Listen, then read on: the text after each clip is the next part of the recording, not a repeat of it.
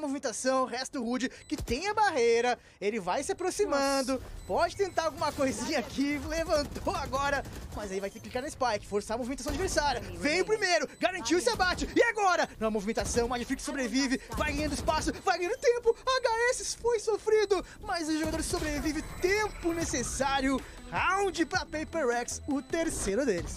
Nossa,